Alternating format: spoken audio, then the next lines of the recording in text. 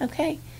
Our development of theory of mind continues um, through upper elementary, even.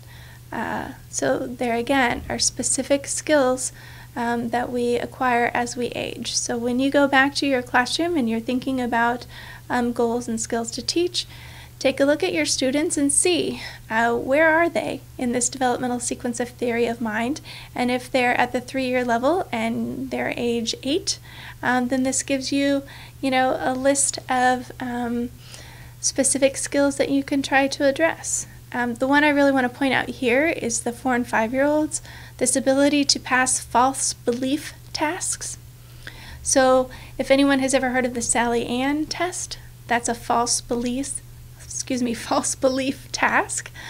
Um, the Sally Anne test uh, to kind of minimize is uh, Sally has a box, she puts her ball in the box, and then she walks off.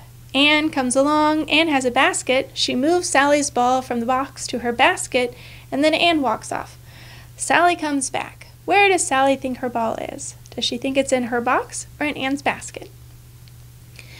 Children with good theory of mind say she thinks it's in the box, right? Because that's the last place she saw it. Um, children with poor theory of mind, and oftentimes children with autism, report that it's in the basket because the last thing they, the last thing they saw was Sally move it. Even though Anne didn't see that, their perspective is only their own, and this is where they saw it. Um, so that's this false belief task. Um, object permanence can kind of play a role here.